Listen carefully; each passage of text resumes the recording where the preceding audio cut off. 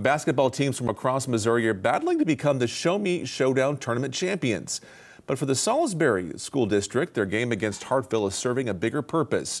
The team's starter suddenly passed away earlier this week. KOLR 10 Sydney Moran is live at Hammons Student Center, sharing how that district is honoring their teammate tonight. Sydney? Mike, there is good news. Salisbury actually won against Hartville. They made 20 points in the fourth quarter, and that number is significant because it's the number London White wore. The team had his jersey on the bench, but in the stands, there were purple shirts with not only White's name and number, but also the hashtag LLL, which stands for Live Love London. And students I talked to earlier say that's something his grandma said at the vigil that they had at the high school on Tuesday.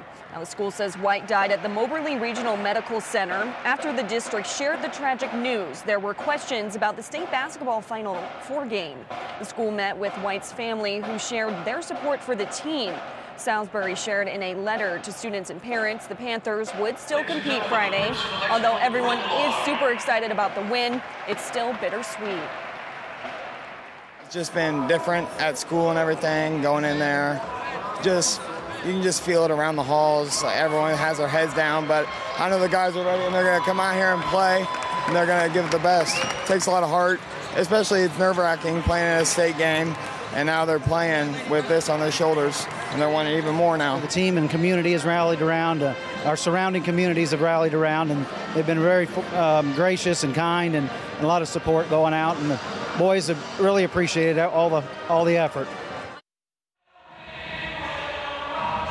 Funeral for White is on March 14th.